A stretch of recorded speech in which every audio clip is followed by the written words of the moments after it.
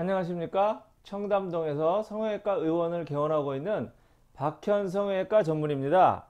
지난 시간에는 이 돌출립의 아래쪽인 돌출립 무턱 교정에 대해서 말씀드렸고요. 오늘은 이 돌출립의 위쪽인 팔자주름 특히 돌출립이 있을 경우에는 돌출립 팔자주름이라고 하는데 이 팔자주름 교정을 어떻게 하는지 알아보도록 하겠습니다. 그럼 사례자의 질문을 소개해 드리겠습니다. 전 유독 다른 사람보다 어렸을 때부터 팔자주름이 심해서 화장할 때 주름 부분이 뭉치곤 했는데요. 이번에 상악덧니 두 개 발치하고 총 4개 발치하고 난 후에 살도 빠져서인지 팔자주름 윗가주름이 더 심해진 것 같네요. 셀카 찍으면 더 두드러져 보이고 웃으면서 사진 찍을 때 여기가 이렇게 주름이 가 있거든요. 패어 있는 듯하게 이러한 빨간 화살표의 팔자 주름과 노란 화살표의 입가 주름이 생기는 이유는 이 보라색의 볼살과 이 녹색의 치조골 돌출이 서로 부닥쳐서 생기는 것입니다. 따라서 꺼진 볼살과 도드라진 치조골 부분이 움직이면서 표정을 지우면서 그 경계 부분에서 자꾸 함몰이 되게 되는데 그 부분이 돌출립 팔자주름, 돌출립 입가주름이 되겠습니다.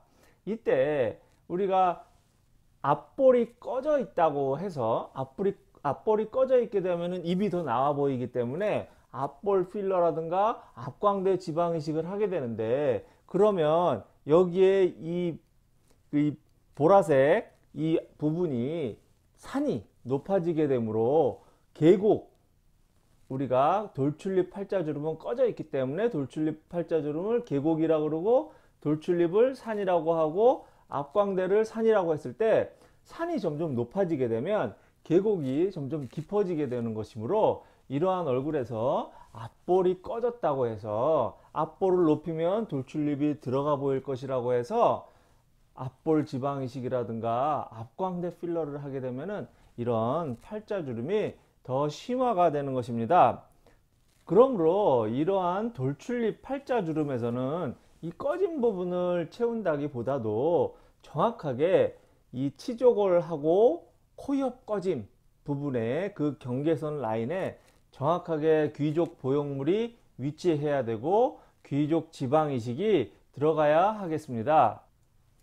그리고 여기 사례자분과 같이 어, 상악골을 두 개 발치하고 어, 총 네 개 발치를 하였다고 말씀하셨습니다. 그런데 이분 같은 경우에는 상악골하고 하악골의 크기가 상악골이 크고 하악골이 이렇게 작은 경우였기 때문에 처음에 상악 두 개를 발치했다가 나중에 또 교정을 하면서 하악까지 두 개를 발치했다고 하는데 이렇게 교합이 이렇게 정상 교합으로 1급 교합으로 위아래가 이렇게 맞물려 있는 경우에서는 위에 두 개, 아래 두 개를 빼게 되면은 이 치조골 자체가 조금 들어가 보이는 효과가 있겠습니다만은 어 이렇게 상악 돌출, 상악 치조골 돌출이 있는 경우에는 위에를 두 개를 빼서 안으로 집어넣는 거는 그래도 좋은 효과를 보이겠지만 이렇게 아래 턱뼈가 안으로 들어가 있는데 여기서 이 하악골이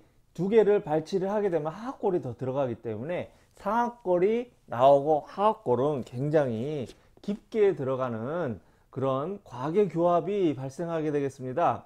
이번 2019년 대한미용성형외과 학회가 코엑스에서 열렸는데요.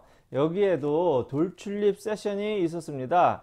여기에 발표하신 선생님들은 치과의 교정과 선생님이 발표를 하셨고 그 다음에 ASO 수술 우리가 돌출립 치조골 수술이라고 하죠. 그 돌출립 수술을 하시는 선생님 발표하셨고 또 양악 수술로 돌출립을 교정하시는 선생님이 발표를 하셨습니다. 그러면 저는 지난 시간에도 돌출립에서 무턱을 교정하는 방법으로 또 이번 시간에는 돌출립에서 팔자주름을 교정하는 방법으로 돌출립을 완화시키는 설명을 드리는데요. 돌출립 수술이나 양악 수술로 튀어나오는 것을 교정해야지. 그러면 튀어나온 것을 위아래를 올려서 들어가게 하는 것은 어, 정확한 치료 방법이 아니냐 이렇게 말씀하실 수도 있겠습니다. 그런데 제가 저번에도 말씀드렸습니다만 여기 사진을 보시면 동양인의 단두형 얼굴과 서양인의 장두형 얼굴을 비교해서 설명을 드려보겠습니다. 여기서 하늘색 라인은 어, 코 어, 때의 높이가 되겠고 노란색 라인은 코 옆 꺼짐이 되겠습니다. 이 부분에 이제 팔자주름이 생기는 것이고요. 빨간 선은 치조골 돌출의 면이 되겠고 파란 선은 턱 끝이 되겠습니다. 그래서 동양인의 얼굴을 보시면 노란 선의 길이보다 빨간 선의 길이가 길게 되면 돌출입 팔자주름이 생기면서 빨간 선이 앞으로 돌출이 되어 있으니까 입이 나아 보이게 됩니다. 또한 서양인의 장두형 얼굴을 보게 되면 노란 선의 길이가 빨간 선의 길이보다 길게 되므로 그러니까 입의 위치보다 코 바닥의 위치가 더 높게 되는 장두형 얼굴이 되겠습니다. 이렇게 장두형 얼굴이 된다는 것은 돌출립 치조골이 있게 되면은 턱이 나오고 팔자주름이 나와서 위아래가 다 나오니까 입이 들어가는다. 아, 이런 얼굴 깊이 성형으로 저는 치료를 하고 있습니다. 그래서 여기 서양인의 사진을 보시면 빨간 선까지의 귀 구멍에서부터 빨간 선까지의 길이보다 앞턱의 길이 파란 선의 길이가 노란 선의 길이가 빨간 선의 길이보다 더 길게 되면 얼굴이 이렇게 장두형으로 된다는 것이죠. 이렇게 이렇게 올라가 올라가니까 입이 들어가 보인다. 이런 얼굴 깊이 성형이 되겠습니다. 그런데 만약에 이런 방법을 하지 아니하고 얼굴 깊이가 낮은 상태에서 여기 동양인의 얼굴에서 노란 라인이 짧고 빨간 라인이 긴데 빨간 라인의 길이를 짧게 예, 하는 것이 바로 돌출입 수술이나 양악 수술로 해서 이렇게 들어가는 수술이 되겠습니다. 그러면 노란 선의 길이도 짧은데 빨간 선의 길이까지 짧게 되므로 잘못할 경우에 물론 잘 할 경우에는 이제 얼굴이 대부분 예뻐집니다만 여기서부터 여기까지 길이가 짧은데 여기서부터 여기까지 길이도 짧게 되면 얼굴이 더 납작하게 합주기 얼굴이 되는 경우가 발생하겠습니다. 이러한 내용은 지난번 튀어나온 눈 관상 성형에서 눈이 튀어나온 것은 우리나라 동양인들이 얼굴이 납작하기 때문에 눈이 튀어나와 보이는 것이기 때문에 귀구멍에서부터 눈썹뼈까지의 길이를 늘리고 귀구멍에서부터 중안부까지의 길이를 늘려서 눈을 들어가 보이게 한다. 이렇게 저는 얼굴 깊이 성형을 말씀드렸습니다만 눈이 튀어나왔다고 해서 얼굴 깊이가 얕은데 눈이 튀어나왔다고 해서 눈을 집어넣게 되면은 얼굴이 더 납작하게 돼서 좀 밋밋한 얼굴이 될 수가 있겠습니다.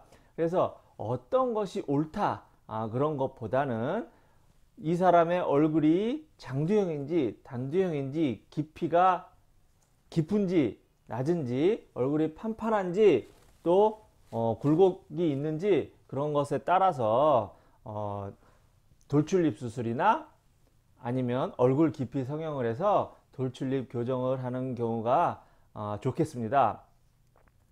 그러면 오늘 돌출입 팔자주름에 대해서 어, 설명을 드렸는데요. 꺼진 팔자주름을 이렇게 올리다 보면 인중이 길어지고 코가 낮아 보여서 어, 이러한 약간 좀 밋밋한 얼굴이 되는데 이는 코가 더 올라가고 코끝이 더 올라가고 비순각이 연예인 비순각이 되면서 인중이 짧아지게 되면 예쁜 얼굴을 만들 수 있겠습니다. 이러한 패키지 코 성형 무흉 인중 축소에 대해서는 다음 시간에 설명을 드리도록 하겠습니다. 감사합니다.